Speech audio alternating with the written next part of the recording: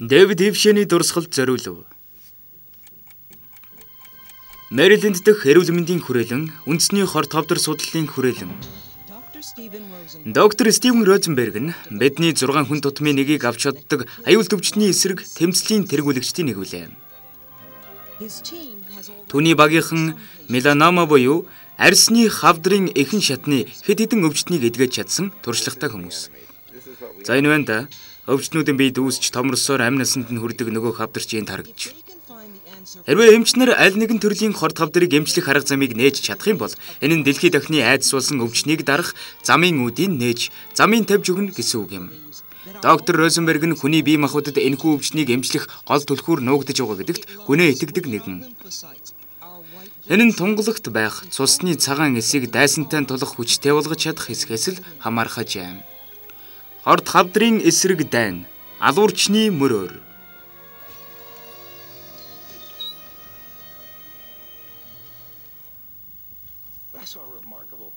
Анх би 1968 онд сэтгэл зүрхийг минь энэхүү ажилд эргэлт буцалтгүй татсан нэгэн өвчтөнтэй учирч байсан юм. Эйн Австин би Розенберг эмч байна. Эмчилгээ тун сайн боллоо. Ямар ч эмчилгээгүй болсон байхад тэрний хавдар орморгүй алга болж. Сайн байна. Одоо сайн амраад ав. Бус зүйлээ бидэнд даатгараа. Тэрний хавдрын энэхүү гайхалтай эдгэрэл нь түүхэндээ цөөн хэдхэн өвчтөн тохиолдож байсан бөгөөд эмчилгээний хувьд асар ховор тохиолдол. Тэгэхээр эндээс харахад альва өвчтөн энэ хүн шалгаагүй. Тэдний биеийн өвчнөө ялан дийлэх байгалийн зохион байгуулалтаа нь харагдаж байна. Энэ хүү шалтгааны ялгаас би сүүлийн 20 гаруй жилийг тус салбарт ажиллан судалгаа хийхэд зориулж байна.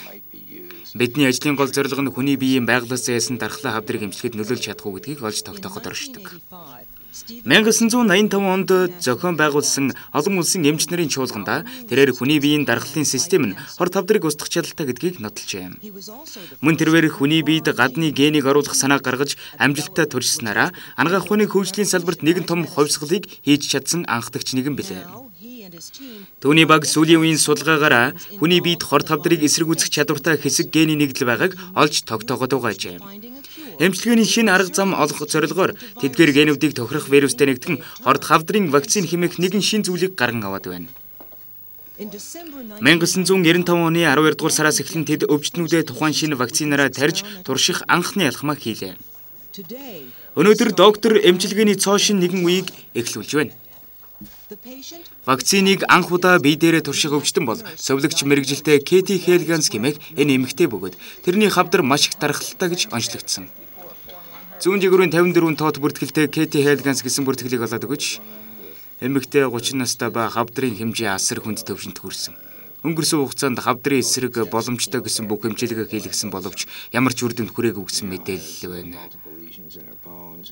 Сүүлийн шинжилгээгээр тэрний яс нүдэ элэг арьсан даагуур хэд эсүүдэд хэд хэдэн хавдрын суур илэрсэн бөгөөд эдгээрээс хамгийн ихт томорсон дунд чимэгнийг нь байсан. Энэ өвчтөнд вакцины эхний туршлагыг хийх нь биднээс нэлээд л их хүч хөдөлмөр шаардах байх та. За бүгдээ асуулаа эхнээс нь дуустал нь ахиныг харцгаая. Эндээс гавлын ясан дээр нь гарсан хэд хэдэн хавдрын шархыг тодорхой харж байна. Эдгээр хавдар тус бүртээ тухайн биед байгаа өөр нэгэн хавдрыг төлөөлж байгаа гэхээр тэрний биед хорт хавдар маш их хэмжээгээр тархсан байгаа нь тодорхой байна. За тэгэхээр биднийг юу хүлээж байгаа нь тодорхой боллоо.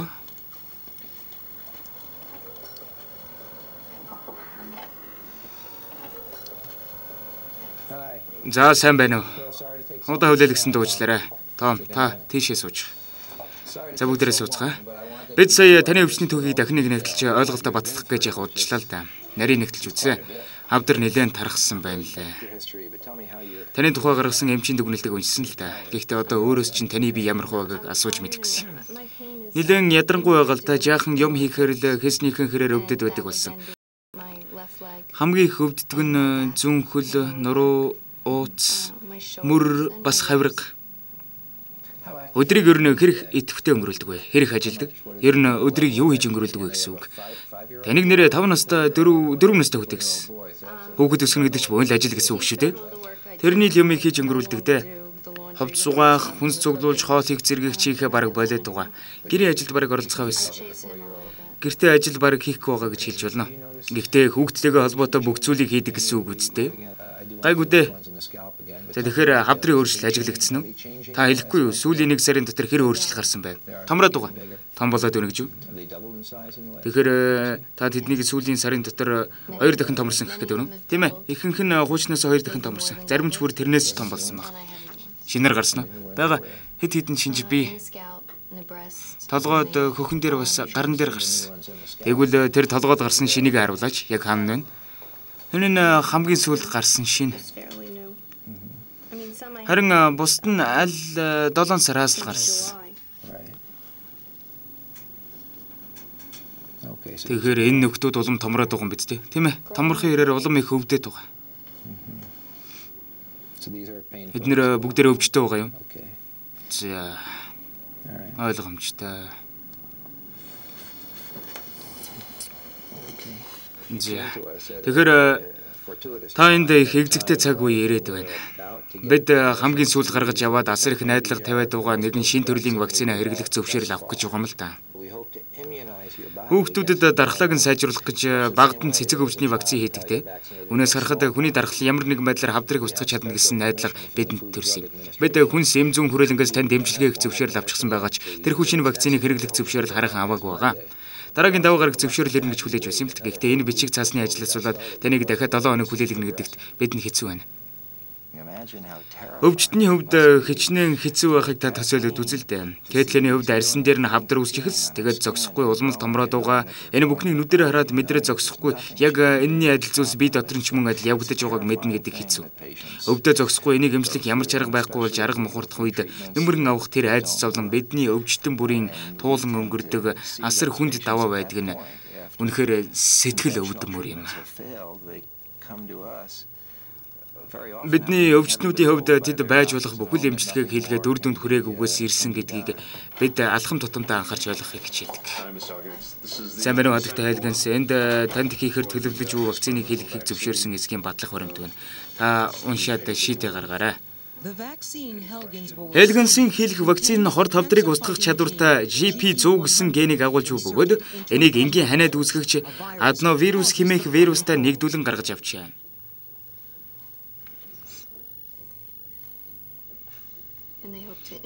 Энд тайлбарласнаар бол ханиадны вирусыг ашиглан биеийн дархлааг нэмэгдүүлж энэхүү хүний байглаас зайсан дархлааны хүчийг нэмэгдүүлснээр хавдартай тэмцэж болно гэж үзэж байна гэсэн байна л да.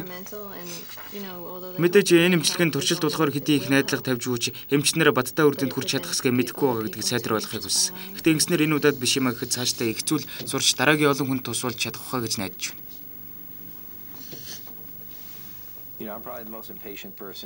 Таны уулзаж байсан хүмүүсээс би хамгийн төвчээр тань өгч магадгүй. Болж илэгвэл энэ бүхнийг өнөөдөр яг одоо хийгээд үр дүнг нь одоо л хармаар байна. Бидний гаргаж явсан энэ вирус нь лабораторийн бүтээл буюу урд хожид биологийн ямар нэгэн хөвслөөр үүсэж байгаагүй цоо шин зүйл юм. Тэгэхээр батлагдсан онлоор шууд тайлбарлах аргагүй. Тийм нууцлаг зүйл агуулгадж байгаа. 1989 онд анх удаа хүний биед гадны генийг оруулж туршихад энэс гарах үр дагавар шалтгааллах эрсдэл зэргийг хинч тооцоолж урьдчилан хэлж чадахгүй байсан. Энэ удаад бид сүүлийн 3 жилиг аюулгүй алдаагүй гаргахгүй найдвартай байдлыг хангах гэж асар их хүлээс төвшөр тэгэр өнгөрөөсөн. За бүхийг энэ гаргачлаа. Энэ вакцинд орсон генийг гаргаж явах, судлах, турших, тохирох вирустай нэгтгэх гэх мэт энэ бүх замыг туулахдаа бид 5 жил хагасыг зориулсан байхад манай кетийн үгээр тариулахдаа ганц 2 секунд л зарцуулж байх шивдээ. Тийм бол амжилттай болно. Нэгээс 2 сар болох байхаа. Энэхүү вакциныг анх удаа Хелганс тарьж турших гэж байгаа болохоор хүнс эмзэг хүрээлэн тэрэн зөвшөөрөгдсөн хамгийн бага тунгаар тарихыг зөвшөөрчээ. Амьдралдаа хэлгэж байгаа хамгийн сайн тарих гэж найдаж байгаа шүү. Тааш нэрээ өмнө хэдэн зуун удаа тариулаа үсттэй. Тэгэлгүй яах вэ? Тарилаа шүү. За хийлээ. Болчлоо. Сайн байна. Секунд ч хүрсэнгүй шүү дээ. За, яаж байна? Өвдөж байна уу? Үгүй. Тэгвэл сайн байна. Вакцин бүх үеэр чин гүйж байна гэж төсөөлдөө. Төсөөлөгдөж байна. Бид нар одоо бүх хор тавдрыг ч устгаж байна. Над юу төсөөлөгдөж байгааг та тааж хэлж чадахгүй. За тийм бол би нэмж хэлэхэ болъё доо. Бид тэнд доод давхурт нэгөрөө бэлдсэн байгаа. Таныг төр хугацаанд ашиглаж хяналтандаа байлгах юм л да. Өөр нэмж хэлэх зүйл одоохондоо алга. Та бас суумаар байна уу? Болж уу? За, таны гэрэх 7 хоногудад дахин шинэ хавдар үүссэн чи байгаа хавдрууд нь томорч байсан чи энэ бүхэнд санаа сэтгэл бүү зовоогоосоо гэж хүсэж байна. Ойлголоо. За, доктор Розенбергийн өрөө байна. Эдгээр өвчтнүүдэд маань гарах хавдрын өөрчлөлтөөр бид эмчилгээний үр дүнгууд өгнөж бид доторх яг юу болж байгааг бас алдаа оноо байгаа эсхийг харах юм. Яг электрон микроскопоор 100 мянга дахин томруулан харахад харагдаж байгаа энэхүү процесс явагдаж байгаа. Тарай хэлснээр эдгээр лимфоцитууд буюу манай даргаллын цэргүүд хавдрын эсүүд дээр очиж тэдэнтэй тололдож устгаж эхэлнэ. Ингээд тарилгын дараанаас хавдрын хэмжээ буурах хэсгээр үр дүн тодорхойлогдно. Энэ үед бид юу хийх вэ гэхлээр лимфоцитийн хүчийг хавдартаа өвчтний хорд хавдрын эсүүдийн хүчтэй тохируулж устгах хүчийг тааруулж явахад анхаарч явах хэрэгтэй болж байгаа юм. Энд харагдаж байгаа хүний биеийн үндсэн даргаллын систем бидний тарж оруулсан вакцины тусламжтай илүү хүч хэрхэж байна. Энэ нь хавдрын эсрэг тэмцэх чадвар бүхий эсүүдийн тоо олж ирнэ гэсэн үг л дээ. Энэ л бидний хүрэх гээд хийх гээд байгаа гол зүйл юм шүү дээ. За хойшоо зүйлийн хэвтэрэ. 9 сарын өмнө хадагта Beverly Pay-г энэхүү эрүүл мэндийн хүрээлэнд ирэхэд тэрний арьсны хор тавдар нь мутацид орсон байжээ. Бусад бүх хэмжилгээ тэрний хувьд үр дүнгүй болж хамгийн сүүлийн найдвар нь энэхүү вакцин болсон байлаа. Энэ эмэгтэй эрмэгцээ Interleukin 2 буюу дархлааны системийн үйл ажиллагааг огцом шаажруулах вакциныг өндөр тунгаар тариулжээ. Энэ өвчин хэнийг ч ялгарлгүй өвчлүүлэх боломжтой. Би бусдын адил тэнгэрийн дор аз жаргалтай амьдарч байсан. Ямар нэг буруутай зүйлээс болоод хавдар туршлаа гэж сэжиглэх зүйл надад тогт байхгүй. Харин би одоо ердийн лидгэрхийг энэ эмчилгээний үр дүнд эрүүл болохыг л хүсэж байна. Хадагта Beverly Pay өнөө өглөө онцлогоонд орсон уу? Вакцины хэлэхээс өмнө тэрэнд анхаарал татсан гурван гол зүйл байсан. Бэверлиг одоогоос сарын өмнө энд шинжилгээ хийлгэхэд тэрний уушгин дэх хавдрын хэмжээ томорч буй үзүүлэлттэй гарч байна. Бэверлид эмчилгээ хийж эхлэх үед тэрний уушигны хор тавдар маш томорсон байсан. Энэ бол 1-р сард авсан зураг. Харин одооны зурагтай харьцуулах юм бол та энэ өчүүхэн цэг төдий зүйлийг ажиглах болно. Энд цусны судасны төгсгөл харагдах үгүйтэй үлдсэн байна. Эндээс харахад хавдрын хэмжээ бүрэн устж дуусаагүй ч маш том өөрчлөлт гарсан тодорхой харагдаж байна. Үнэхээр гайхалтай байна шүү. Тэгэхээр манай эмчилүүлэгчийн элэг болон арьсны хавдар доктортой буурч амжилттай үр дүн харагдаж байна. Тэрийн мэдээг сонсоод баярлах баг. За бүгдээрээ тэрнийг эргэж очихдаа энэ сайхан мэдээгээд болгоно. Сайн уу адагта бай? Сайн уу? За өдрийг хэрхэн өнгөрүүлж байна да?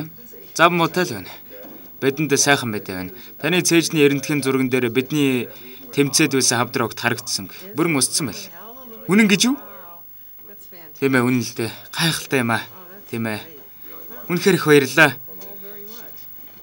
Хэдий сайхан мэдээд дуулсан чи бидний гаргасан шинэ вакцинаар та дөрөв дэх удаагийн тарилгаа хийлгэнэ. Тэгэхээр би дөрөв дэх тарилгаа нь тийм үү? Эхний тарилгаас эхлээд л Beverly Payne хавдрын хэмжээнд эрс буурсан үзүүлэлт гарч эхэлжээ. Танаас нэг зүйл хүсэх байна. Бид эмчилгээний явцдаа таны биеийг энэхүү шинэ вирустай хэрхэн зогцож байгааг давхар хянаж байгаа. Энийг шалгахын тулд таны арьснаас маш жоохон хэсгийг авч хөлдөөгчөнд хадгалах хэрэгтэй болоод байна л да. Энэхүү эмчилгээ зарим хүнд үр дүнгээ өгсөн байдал зарим хүнд огт үйлчлэхгүй байгаа нь эрдэмтдэд нууцлаг хэвээр байгаа гэж. Beverly Page өвчтнүүдэд судалгаа хийснээр нууцыг талхтаа алхам ойртох боловч гарч болох юм. За та зүгээр үсттэй. Хавдар нүдэн дээр устж байгааг бидний ажил агцтай байгааг харах үнэхэр сайхан байна. Үр дүнтэй байна шүү дээ. Эдгээр судалгааны дүнд хамтрын хэмжээнд дээд зэрэг төрсэн Кейтлийн зэрэг хүмүүсийг эмчлэх боломж олдож магадгүй гэж бодохоос цаг хугацаатай өрсөлдөх хэрэг гарч байна. Бид үр дүн огт гарахгүй байгаа өвчтнүүдийнхээ тухай цаг мөч бүр санаа зовж өчүүхэн гисэн сайхан мэдээд болгосон гэж дандаа хүсэж байдаг. Энэ хүсэл маань биднийг болон энд ажилладаг бүхэл хүмүүсийг улам ихийг хийж бүтээх тэмүүлтэй болгодог. Миний хувьд сайн өвчтний тоонд орсонтой баяртай байна. Үндэ итгэж чадахгүй байна гайхалтай. Далавч ургаад нисж байгаа юм шиг л. Beverly Pay-ийн хор тавдар маш идэвхтэй хавдар байсан. Тэрээр гартаа хавдрыг салгаж явах хэд хэдэн месс цаас хийлгэж хавдаргүй болж байсан. Гэвч тун удалгүй хавдар дахин ургаж эхэлсэн. Месс заслаар авч хайсан газар дахин хавдар үүсэж байгаагаа тэр анзаарч эхэлжээ. Мэдээж тэрээр маш их айд сандарч эхэлсэн. Өдөр ирэх тусам тэдгээр хавдар нүдэн дээр нь улам томорч байсан гэсэн.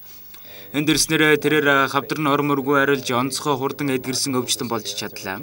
Эдгээр хэсгүүдэд байсан маш том хавдрууд оргүй арилсныг энэ өмнөх зурагтай харьцуулан харснаар ялгааг нь тодорхой харж болно.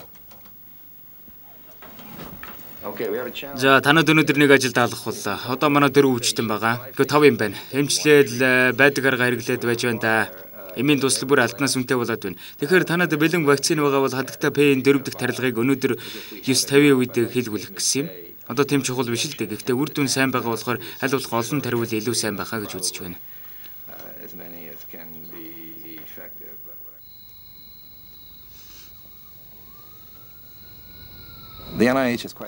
Үндэсний эрүүл мэндийн хүрээлэн бол маш онцгой газар. Энд ажилдаг хүмүүр нэгэнт гаргаад авчихсан юм тариаг турших бус харин маргааш ирээдүйд хэрэгтэй ямар нэгэн зүйлийг гаргаж явах гэж тэрнийг бүтээх гэж хичээ ажилдаг.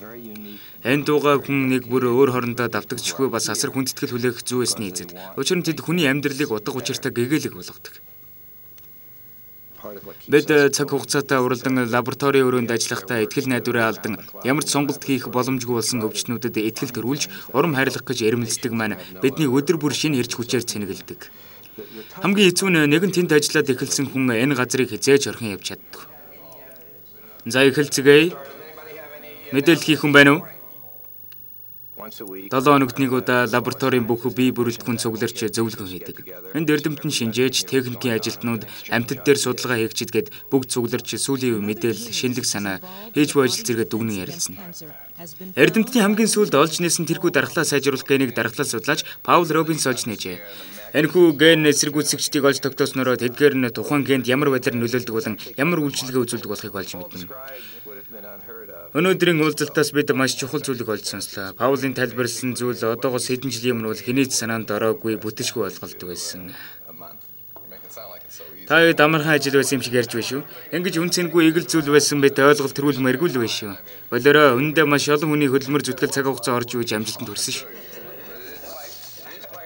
Бид энэхүү гадны генийг бид харуулахад тухайн хавдар тэрний эдис хэрхэн эсэргүүцэж тэмцэж байгааг олж мэдэх хэрэгтэй. Энийг антиген гэж нэрлэж байгаа. Өнөөдрөөс 2-7 хоногийн өмнө гэхэд бид 6 өөр төрлийн антигенийг олж илрүүлээд байсан. Март 1 болон шинэ вакцины найрлагад орсон GP100 нар нь тэдгээр 6-гийн 2 нэм. Харин сүүлийн 2-7 хоногийн хугацаанд 2 нэмэлт шинэ гений төрлийг олж тогтоосон. Нэг нь өнөөдөр Паулын бидэнд тайлбарласан ген, харин нөгөөх нь өнгөрсөн 7 хоног доктор Боны олж нээсэн генүүд. Мэд нээлтийн асар том үе шатанд орчиход байна. Энэ вакцины үйлчлэх ёстой гол бай болох генетикийн тэрхүү хамгийн чухал материалыг олж тогтоочход байна гэсэн үг. Сайн байна уу өглөөний мэнд. Вакцин хийлгэснээс хойш нэг хоноход Кэти Хелгенсийн бид ямар нэгэн өөрчлөлт шинж тэмдэг илэрсэнгүй. Харин тэр өвчнөөсөө болоод шүнийг нилээд шаналж өнгөрөөжээ. Энэ өглөөч зочин ихтэй шүү. Өрчин ямар байснаа бидэнд хэлэхгүй унтаж ямарч чадгүй. Жаахан л унцаа. Ямар нэг хүндрэл гарсан уу? Яг юу басна хэлдэг. Би орой маш бага зүйл идсэн. Гэхдээ эдэж болохгүй хоёр жижигхэн зүйл идчихсэн. Төмөс баг зэрэг салат идсэн. Тэгээд бас Томи хоолноос хоёр ширхэг шарсан төмөс идчихсэн. Хоол эзэдний дараа хөл нуруу өвдөд болохоор нь өвчин амдаах юм уусан. Тэр юм ууснаас хойш цаг орчмын дараа бүх бие маш их өвдсөн. Тэгээд маш их хөлрөөд хөлс намдахгүй асгараад л байсан. Аагур хөлөрсөн гэж бүх ярьж нү голороо гимэр юм уу да. Дайлуу хаана гэдэг харуул да. Би лав ямар ч үсэн нэгээс 2 сар ямар нэгэн шарсан хол хүнснээс татгалцах байсан та. Таны цөс өмнөхөөс ялангуй томорсон байна. Гэхдээ санаа зовлтгүй. Таны хүнд байх хугацаанд ямар нэг өөрчлөлт харьцлах зүйл гарах нүг уу гэдгийг ажигласан юм. Энэ цаашдаа юу хийх хэрэгтэй вэ гэдэгтээ илүү анхаарч чиглэлээ тодорхойлоход их хэрэг боллоо. Жадвал таныг өнөөдөр гэрлүүчин төр гарах болно. Заац сайн байна. Хэсэг хугацааны дараа дахин уулзъя та. Тэгээ баярлалаа. Та дажгүй үстэй. Зүгээрээ бид ажгүй. Энэ бүхэн яг л адал явдал цохол шиг санагддаг юм. Ягаад гэвэл бид судалж мөрөөрн мөшгдөг. За юу болж байна? Бид лабораториос ямар нэгэн улмөр олвол тэрнийг өвчтнүүдийн бие зохицох хэсгийг туршиж таналт хийдэг. Дараа нь дахин лабораторид авчирна. Олсон мэдээлэл ашиглан тэрнийг нэмж сайжруулад нөгөө хор тавдар хэмээх халуурчнаа барьж устгахын тулд дахин өвчтнөө тарьж туршина үйлчилгээ үзүүлсэн байсан. Ямар ч тохиолдолд вакцин хийсний дараах өвчтний биеийн байдал өмнөх үеийнхээс давмгаар харагдж байна. За юу? Эдгээр үү? T2 эсүүд. Дараагийнх нь T2 нэмэх нь 2 M-ийг нэмсэн байгаа. Тоглоог үз ямар гайхалтай хэрэг вэ? Тийм ээ. T2 дангаараа хараач бүр гялцж байна гэж.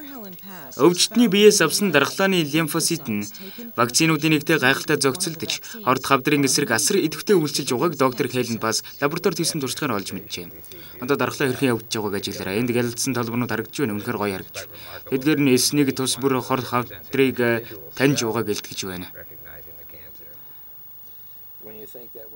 Зарим туршилт лабораторийн нөхцөлд гайхалтай үр дүнд хүрдэгч хүний биед огт өөр байдаг нь хавдрыг эмчлэхэд гардаг нэгэн том хүндрэл юм. Тэгэхээр бүгдээрээ яг вакцин хийлгэхийн дараа цуснаас нь дээж авч энд давхар хянцгая да. Кэти Хелгенсийн бид бас нэгэн өөр таналт хийхэр болжээ. Миний үзэж байгаагаар тэрний цөсний уданд хавдар байна. Энд тийм тохиолдод байдгүй л дээ. Эхогоор харцгаая л да. Магадгүй цөсний чулууж хөөж болох юм. Тэр Еролд нь байгаа цөсний шар мөн үү? Цөсний шар бас чулуунууд ч. Меланома нь сүүлийн үед Америк нэгдсэн улсад маш хурдцтай өсөж байгаа хорт хавдрын нэг төрөл юм. Мөн энэ нь хүний амьд хамгийн аюултай тооцогдоод байгаа ажээ. Энэ зүгээр цөсний шар баг шиг байна. Харьцангуй зузаан юм. Дажгүй сонсогдож байна шүү. Нэр нь сайхан сонсогдож байна тийм үү? Өнөөдөр надад дуулах өөр сайхан мэдээ байна уу? Хөвдөлт нь ямар шихэн байна? Зүгээрээ байнга өвдөд бүр тоогооч байж Зүгээрээ өвдөд угаж удахгүй. Тийм ээ. Вакцинал хурдан хийлгэе. За энд зүүн талын гол судал гарч ирж байна. Тэрний үүсгэнд хитэн хавдар илэрч байна. Орчинд нь хавдар байгаа нь тод харагдаж байна. Кэти Хелгенсийн хавдар харьцангуй идэвхтэй аж байна. Одоогийн байдлаар тэрний хоёр цөс бас уушгинд нь орж байна.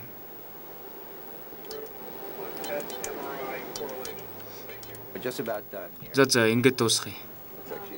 Тэр нь жоохон хэцүү л байх шиг байна. Бидний хувьд шаардлагатай зүйлсээ мэдээд авчихлаа. За хэр байна да? Нилээн чи урт өдөр болох шиг боллоо да. Бараг дуусчлаа.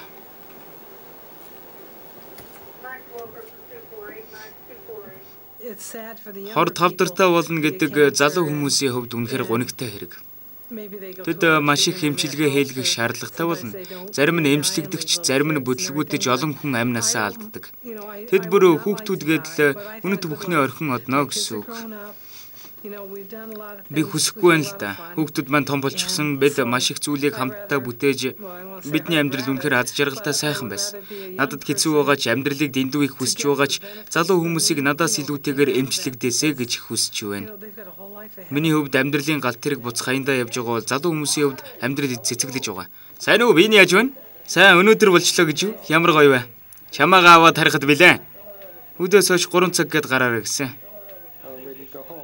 Жишээ нь хэлэхдээ чамайг ердөө дөрвөн төрлийн эмчилгээ хийлгсэн гэсэн. Тийм ээ, надад сүүлчийн вакцин хийх тухайга өнөөдрийн үзлэг дээр хэлсэн. Хавдраас юу ч үлдээгүй байна гэсэн шүү.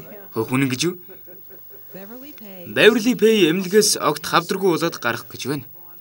Би чинд нилээд удна авах гэж бодсон шүү. Би энд байж үж өвчтнийхэн тог уламл нэмээд авлаа да. Кэт Элгэнсийн хувьд баг дооз бүхий вакцины үйлчлэх хэсгийг харж хэсэг хүлээх хэрэгтэй болж байна. Цаажраад хурдан идэрнэ гэдэгт итгэж байна. Одоогийнхоос дээр дээр дэрнэ гэж найдаж байна шүү. Энийг хэрэглэх үү? Би дэвтэрч явах уу? Явах уу? Наадах чи ямар чухлыг чи надаар хэлүүлдэхгүй мэдж байгаа үст.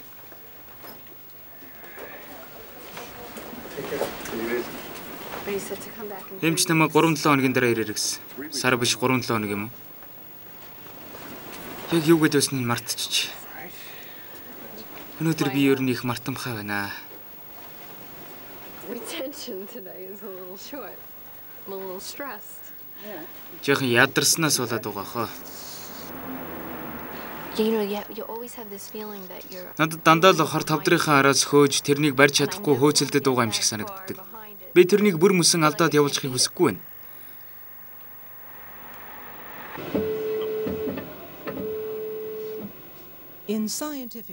Шинжлэх ухааны судалгаанаас харахад олигтой үр дүн муутай олон жилийг үдсэн тохиолдол их байдаг. Гэвч сүүлийн 5 жилд хорт хавдрын тухай ойлголт нэмэгдэн ололт амжилтч харьцангуй их гар сарвна. Бид энэхүү ажлын эхэнд нь оройд нь явж байна. Бид энэхүү генийг маш олон вирусанд оруулж туршиж үзэх хэрэгтэй адновирус, вопбокс гэдэл турших хийх ажил их байна. Бид вакцины вирусуудыг одоогор олж нээж байж болох бүх ил боломжоор нь туршсан. Энийг өмнө хизээж туршиж байгаагүй. Эдгээр генүүд өмнө нь огт оршиж байгаагүй гэсэн үг л дээ.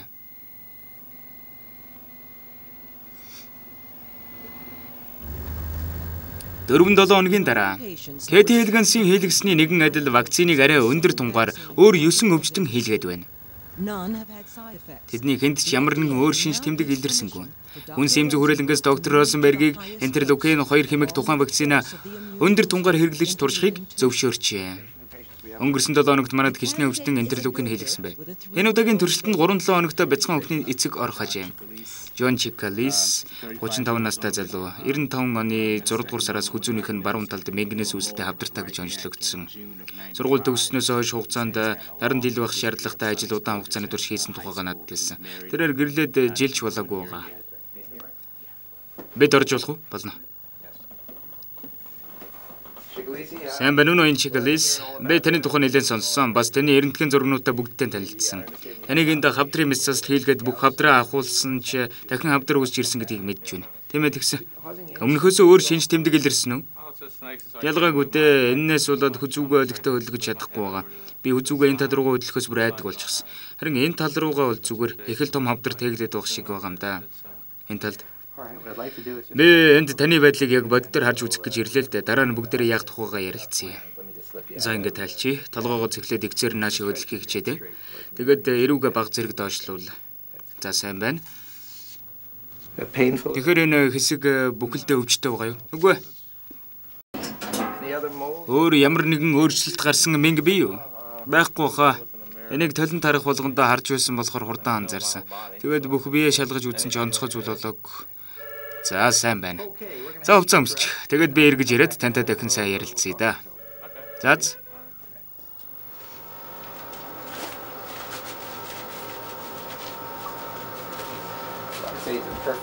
Миний хэр бол тэр эмчилгээнүүдэд ороход яг таарсан хүн байна. Тэгэхээр маргааш ясны шинжилгээ болон тархины MRI-д оруулаарай. Тэгэд бэлэн болохоор бүгдээ эмчилгээнээс маргаашнаас эхлэе. Харин IL 2-оор хагас санд тарий гэж бодож байна. За тэгээ. Чекализ бед хүрээд ирлээ.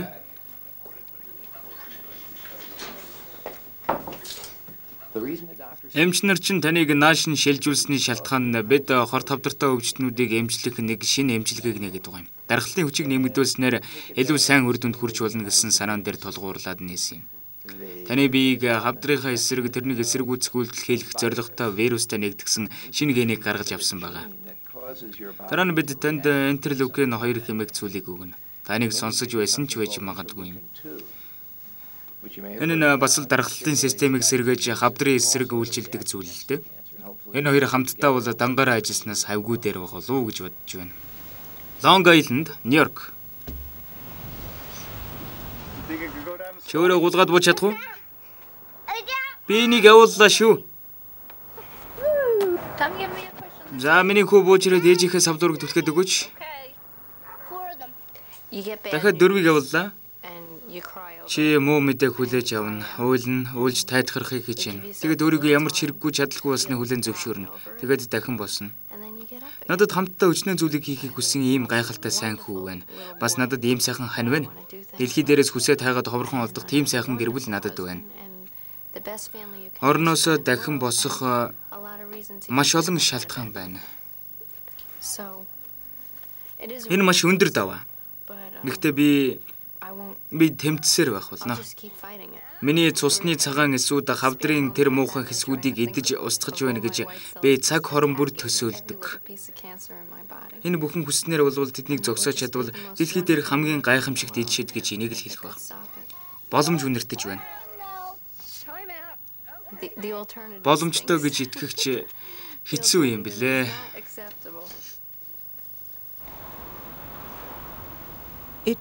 Хүн сэмзүн хүрээлэнгээс өгсөн зөвшөөрлийн дагуу эмчилгээг Хелганс болон Чекалист үргэлжлүүлэн хийсээр нэг жил гаруй хугацаа өнгөрч байна. Хэрвээ энэ зөвшөөрөл олохгүй бол бид вирусыг дахин гаргаж авч чадхаа болоод бүх үйл ажиллагаа эмчилгээ шууд зогсно. Тийм ээ, энд маш их санаа зовж байна. Та мэдж байгаа да. Бид 10-аас 11 хүрэхэд ч ямар нэг хорт бодис илрээгүй шүү дээ. Энэ бүхэн биднийг үнэхээр гонсоолгож байна шүү дээ. Үйл ажиллагааныхаа алхам бүрт Розенберг хүн сэмзүн хүрээлэнтэй зөвшөлдөх хэрэгтэй болно. Та бас энийг мэдэх хэрэгтэй. Мэдний Adino GP100 дуусчих юм бол Fobox-оор туршилтаа эхлүүлмээр байна. Болж шүү ойлголоо. Тэгэхээр та шийдвэрээ гаргаад над руу мэйл өчгөн. За Жэй баярлаа. За баяр та.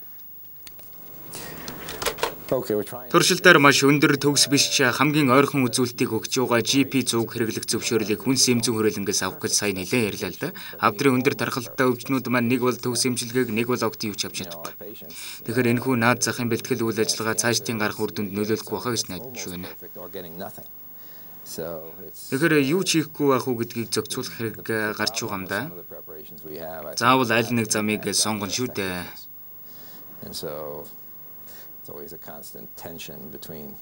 Өвчнүүдтэй туслахын тулд шаардлагатай гэсэн зүйлээ хийх үү аль эсвэл зүгээр аль альда алгүй юу ч хийхгүй байх уу гэдгийг зохицуулах хэрэгтэй. За шинжилгээ эхэллээ шүү. Энэ машин миний том гутлыг доогуур багтаах уу? Бусад өвчнүүдийн нэгэн адил Джон Чикалис вакцин хийлгэхээс өмнө маш олон шинжилгээ өгнө. Сайн байна уу Чикалис хэрвэн да? Давгүй. Бус зүйлч дажгүй юу? Сайн байгаа. Болж байна. Нана нилээн шахуу ойрхон харагдаж байх чинь харин нилээн ойрхон байна. Энд хэр удах вэ? Бараг 20 э, минут болно. За за би эргээд ирээ дээ. Та сайн байна шүү. За за.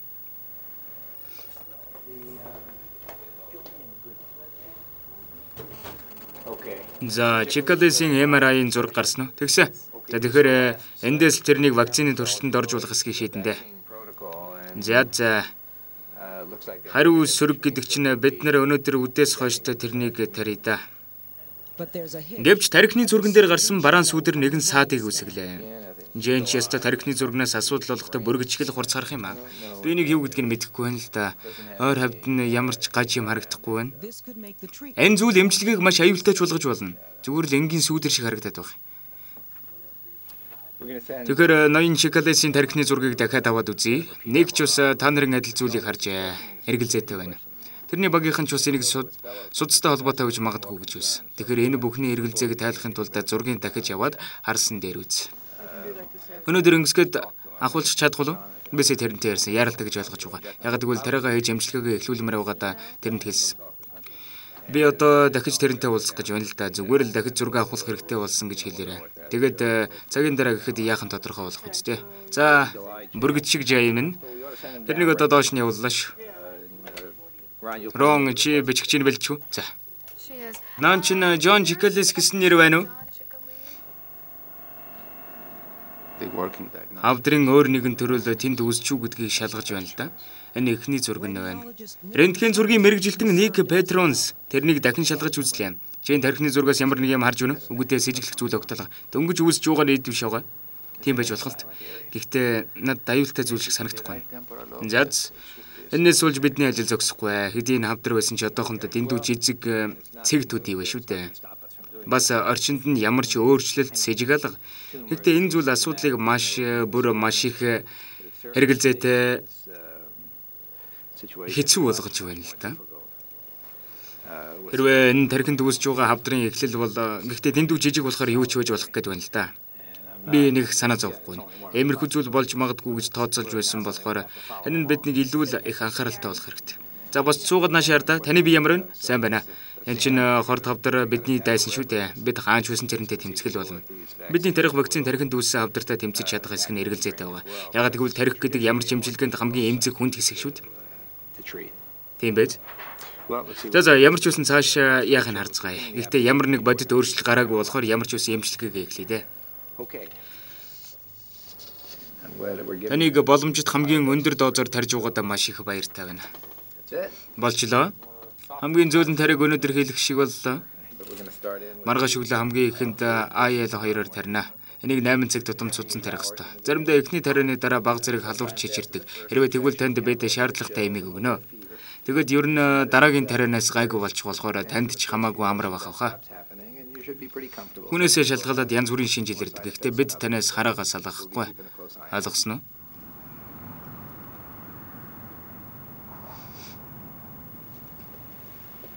Джон Чикалис 2 дахь тариа болох энтерлокин 2-оор тариулах гэж байна. За энэ таны эхний айл 2 шүү. Айл 2 гэдэг нь хавдрын эсрэг тэмцэх дархлааны эсүүдийн тоог нэмэгдүүлэх үйлчилгээ те хүний биеийн гормон юм. Энэ нь богино хугацааны гэхдээ гинтийн бас аюултай цочир нөлөө үзүүлэх магадлалтай. Зүгээр үү? Дуусгаараа саях шиг 3 удаа дуугараад эргээд өөрөө хаагдана. Болж гэнэ үү?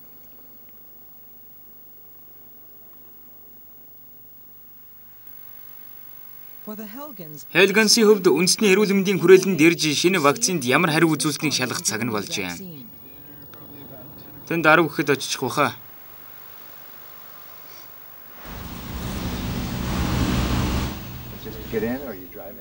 Сая шууд ирв, өчигдөр ирчихсэн байв. Өчигдөр ирсэн. За хамгийн сүүл уулзнаас хойш сүүлийн 7 хоногуд ямар хойсон. Ер нь бол ядарсан ивэр хоол идэж байна уу? Нүгэ зөвхөн юм ууж байгаа. Гэхдээ миний хэр бол эмчилгээнээс хойш нэмж томорсон зүйл байхгүй баха.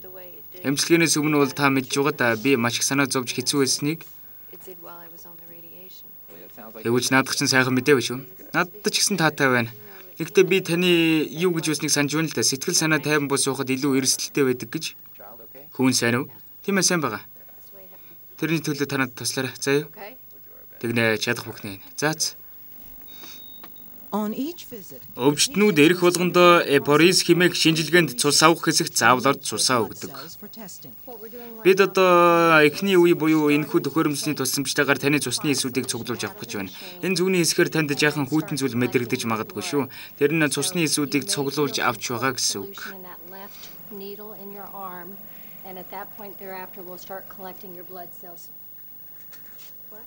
Ямар нэг хэрэгтэй юм байна уу? Надад чиний хайр бас дэмжлэг хэрэгтэй байна. За. Зүгээр л хажууд байх тулна. Маш сайн явж байна.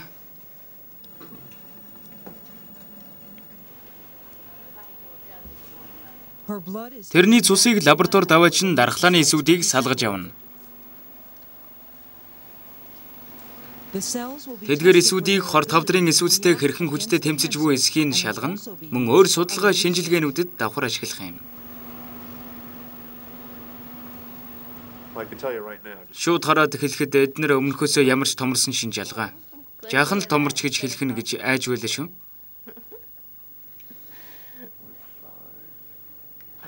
Дандаа өөдрөг байж эднэрийг галзууруулна.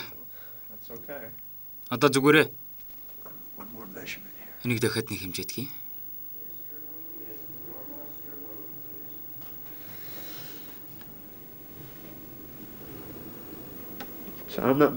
Эдний алинд нь хэмжээний өөрчлөлт алгаа. Томроогүй гэдэг чинь сайн байна шүү. Би ч гэсэн томроогууд нь баяртай байна. Өнгөрсөн сард э, би хинч хүч байснаас тэд нэр өсөөд энэ сар би хин нэгэн болсон болохоор айгаад өсөөгүй бол та. Та мэдхүү би энийг бүр мөсөн алга болоосоо гэж дандаа хүсдэг. Одоо бол ямар ч үсэн өсөлтийн зогсоогоод тогтоогоод авах шиг боллоо. Сайхан санагдаж байна. Яг тийм. Тогтоогоод авна гэдэг тунсан. Энэ хэврээ бол яваад л байна гэсэн үг. Хэрв өмнөх сарынхаас өсөлгүй зогсчихсон бол бараг л миний хүсч байсан зүйл гэсэн үг. Тийм ээ. За би эрентгэнээр хараад хэдүүлээ дахиад сайн шалгая. За танд өөр туслах зүйл өнө. Үгүй харин хэмжилт хийсэнд баярлалаа. Бүхэл ажил амьдралын туршлагаас харахад хамгийн аимшигтай зүйл бол өвчтнийхэн хамаг ихтгэл найдварыг үгүй хийх явдал. Хавдартай өвчтөн хэнч байсан ингэж хэлнэ. Хавдартай болсноо мэдэх эмчилгээ илгэсэн ч тэр нь үр дүнгээ өгөхгүй байх зэрэг бол гайгүй. Хамгийн аимшигтай нь эмчтэр хамаг итгэлийг хөсөрдүүлэх явдал is when doctors have taken away their hope. Кэти Хелгенсийн цуснд ялгалт хийсний дараа тухайн шингэний дунд хэсэгт хэдий эцсийн дүгнэлт бичгэлсэн нэмгэн цагаан давхарга бүхий дархлааны давхарга тодорч гарч юм.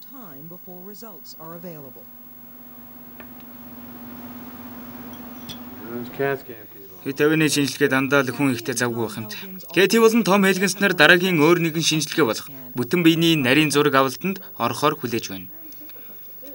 Эннээс болоод хүмүүс юм уулгүй ирдэг байхгүй. Ингэж хэлэхэр чи бүр л уумар санагдаад байна шүү дээ. Энд орох гэж байгаа ихэнх өвчтөнд тийм сайхан санагддаг юмт. Чи ч миний хамгийн муу өвчтөнд. Гэхдээ би чиний хамгийн сайн ихнэр мөн биз. Тэр ч тийм шүү. Удаад ирэхээр бүх зүйл тэмцэртэй болдго юм да. Чамайг хүлээгээд суuna гэдэг ч хэцүү шүү. Тийм ээ хамгийн хэцүү үеүүдийн нэг. Гэхдээ энэ л хамгийн хэцүү нэг. Тэгэх болдгоо. Чиний харсан юмнаас чинь болоод чамд яхаа эвгүй байна уу? Тэгээд баг шиг байна. Энэ хүн шинжилгээний үеэр өвчтөн огтл хөдөлгөөнгүй байх ёстой. Шинжилгээний хариу ямар гарах бол гэж хүлээх энэ үе өвчтний өвд үнэхээр хэцүү байдаг. Дүгнэж байна л да. Энд ямар нэгэн багассан зүйл алга. Миний бодлоор элэг хэвэндээ баг шиг байна. Харин уушгинд байгаа зүйл өмнө харагдаагүй шин зүйл бол та. Гэхдээ шин жилэрч байсан ч тэрнийг техникээс шалтгаалсан зүйл байх гэж бодож байсан. Тэгэхээр ямар ч байсан тодорхой хэмжээгээр хавдар ихссэн байна да. Хэр байна да? Төрийн дотор мухаарад байсан. Одоо бол нойр маш их хурч байна. Унтах гээд байна уу? Кэтлин энэ бол хоёр дахь тарилга. Яг л өмнөх шигээ байх болно. 1 2-ын 3. Кэтэд сайн үр дүн төрүүлэхийн тулд хэр өндөр дооз бүхий вакцин хийх шаардлагатай гэдгийг мэдэх аргагүй. Яг хэвээр мэдж байгаач энийг битгий хөдөлгөөрэй. Та нар гэрлүүгээ тэгж их яраагүй үсттэй. Дахиад ганц хоёр өдөр эндээ байвал зүгээр. Нүгэ бид нэр уурлна. Гэрээ санаад байна. Явсан бол гоё явахгүй юу? Чи дандаа л намайг энд дуудах юм аа. Чамтай ярилцаж баймаар санагдаад л тэр.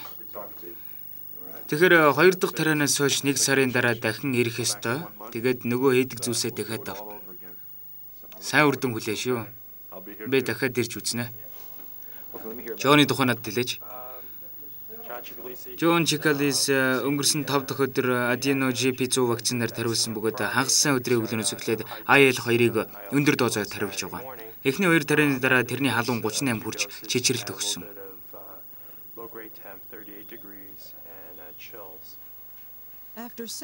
Айл хоёроор хэдэн удаа тариулсны дараа Джон Чикалест гадны өөрчлөлт мэдгэдэхэ болжээ. Сайн уу ноён Чикалес? Сайн уу? Тариаж явах нөлөөлөө юу? Яна хөвчвэ. За хэр байна да? Зүгээр л. Сайн байна. Саасан дээр бол бүх зүйл сайн байгаа гэсэн байна. Гэхдээ таны бие яг ямар байна? Нүд жоохон аргаад байгаа. Өмнө хэлж байснаар бол интерлукен хоёрыг тариулахаар шингэн илүү их хэрэглэмээр санагддаг. Гэхдээ тарилга дуусахад бүгд эвэндээ орно. Гэхдээ таны одоо байгаагаас илүү сайн байна гэж байхгүй. Одоо ч гэсэн тийм ч юм уу байна. Таны хүүхдийн зургнуудыг хүмүүрт үзүүлээд байсан гэж сонссон шүү. Тийм ээ тэгс. Одоо тэд нар чи байгаа юу? Байгаа. Болох уу? Тэнд тавьчихсан байна. Хөгч нь хэдэн сар байгаа вэ? 3-7 хоног. 3-7 хоног жаахан илүү. Энэ эхнэрийн зураг байна. Энэ хэзүү үед эхнэр чи хэр байна да? Тэр дажгүй байгаа гэсэн. Бурхан минь. Энэ бяцхан амьтныг. Аав явах юм биз дээ. Гайхалтай. Нэр нь хэмлээ. Жулия Лин. Жулия Лин. Ямар ч хөөрх юм бэ дээ. Би өөрөө гурван охинтой л доо. Зяамаа. Баярлалаа. Мэд таныг аль болох хурдан гэрчээ хариулнаа. Заац. Амралтын өдрүүдэд доктор Розенберг туршилтуудыг өөрийн гараар удирдан явууллаа.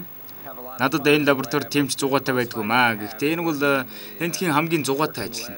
Хинжлэгээ ийгээд ингээд суух гоё л доо. Гэхдээ би хүссэн үедээ ирж хийж чаддаггүй юм. Одоо би эдгээр шингэнийг хооллож байна. Яг л э, хүний бие эрдэс бодис шаардаж бохирдлыг ялгаруулж байдаг шиг. Эднийг ч бас тэгж анхаарч байхгүй бол эднэр чи ажиллаа хийхгүй таг болчих шүү дээ. Одоогоор дархлааны эсүүдийн хавдрын эсүүдийг э, таньж тэмцэх чадлыг шалгаж байна. Яг л нэлх хүүхэд шиг ойр орхон маш их арчилгаа шаарддаг гэд боддоо. Хэрвээ зөв хандахгүй бол бүр эсэргүүцэл хүртэл үзүүлнэ шүү.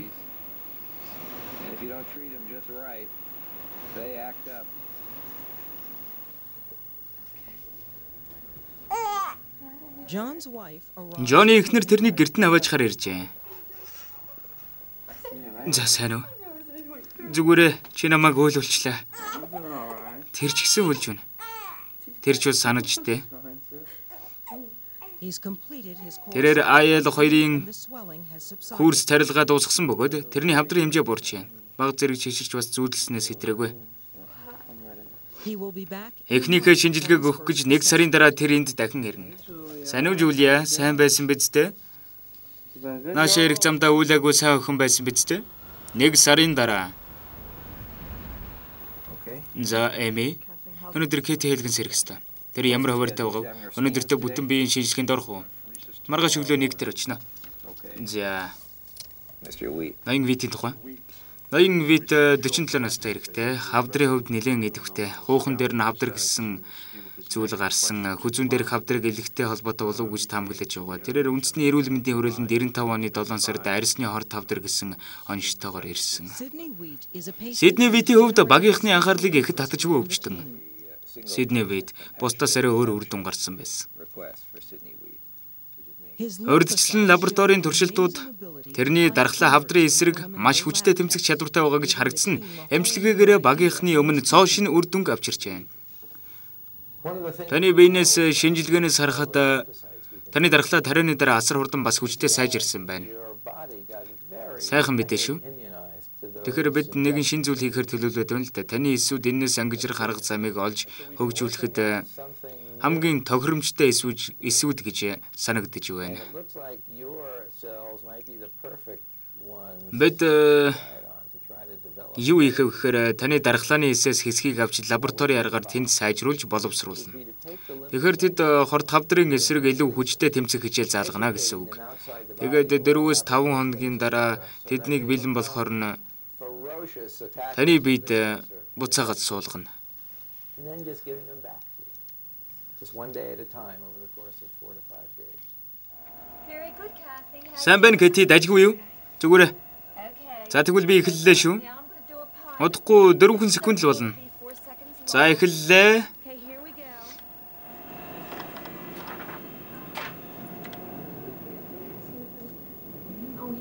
Нөө тэр ч хүрээд ирлээ. Тэр эндээс огт хөдөлгөө хүлээж байсан шүү.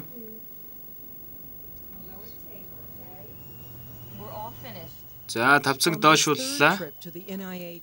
Ариул мэндийн хүрээлэн рүү ирсэн 3 дахь удаагийн аяллаар энэхүү шинжилгээнд орно гэдэг Кэтид бүр хүнд болсон байлаа. Зүгээр зүгээр. Тун сайн байлаа. Зүгээр. Энэ хооронд би нэг төсчвэ.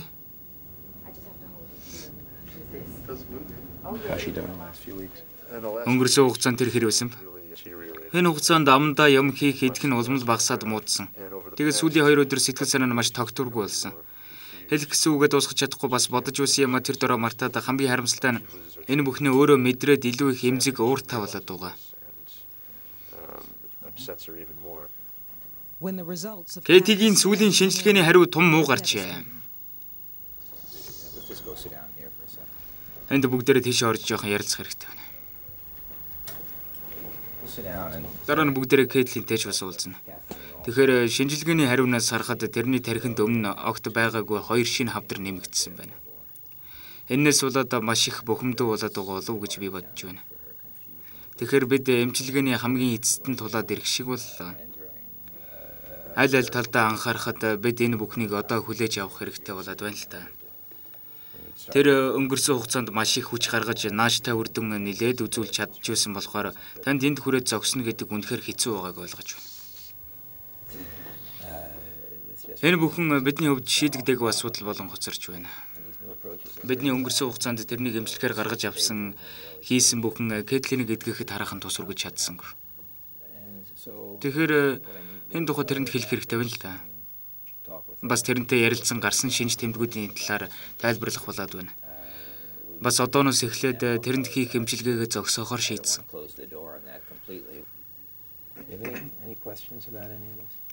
Танд асуухан байна уу? Алгада. Ер нь бол ийм зүйлд болох гээд байгаагээ таамаглаж байсан. Тийм ээ, үнэхээр хэцүү асуудал. Эннээс илүү хийж чадсан ч улаасаа гэж харамсаж байна. Ямар зүйл болохыг гэж э, үндэд төсөөлхийн ч аргагүй. Гэхдээ Кэтлиний хувьд тэр алхам тутамд хамаг чадлаараа хичээж байсан. Бас бид бүхэн таны тэрнийг дэмжиж туслаж байгааг хараад үнэхээр бахархаж бас урамшиж байсан шүү.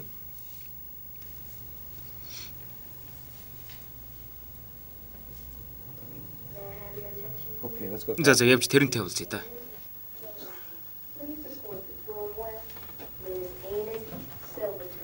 Please support to 12 way. Thank you. Hi Kathleen. Сайн уу Кэтлин? Суугаад 50 ярилцъя гэж ирлээ. Бид сая бүх шинжилгээ болон эрентхэн зургнуудыг харлаа л да.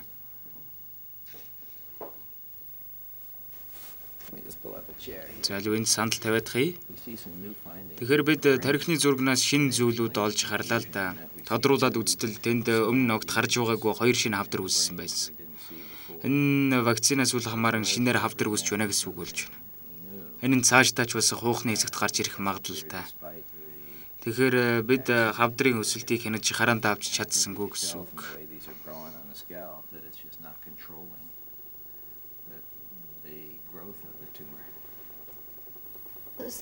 Сүүлийн 7 хоногт л шинж тэмдгүүд э, шинээр нь мэдрэгдэж эхэлсэн. Гинтл гараад эхэлсэн.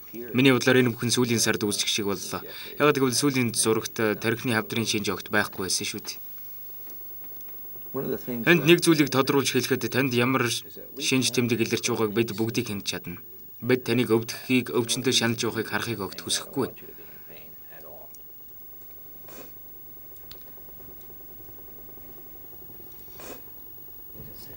Би зүгээр л энэ бүхэн үр дүнтэй болно гэж маш их итгэж байсан. Хавдард энд үед хүчтэй хүчтэй байлаа л да. Бидний туршсан бүхий л эмчилгээг тэсвэрлэх хүчтэй болсон байж. Одоо бидэнд хийж чадах зүйл тийм ч их үлдсэнгүй. Кэти Хелгенс болон тэрний ижил олон зуун өвчтөнд хийсэн туршилтаар доктор Розенберг болон тэрний багийнхан хор тавдрын эсрэг вакцины шин төрлийг гаргаж явахаар хичээнгүйлэн ажилласаар байна. Кэти Хелгенс 1996 оны 7 дугаар сард гэртээ таалал төгсжээ. Джон Чикадисийн элгэний хавдар бүрэн усцсан ба энэ нь тархины хавдар ч мөн уссны дохио болжээ. Харин тэрний хүзүүний хавдар ихснээр эмчилгээ улам эрчимтэй хийгдэж байгаа ба тэрээр вакцина үргэлжлүүлэн хийлгэсээр байх болно. Beverly Pay огт хавдаргүй болсон.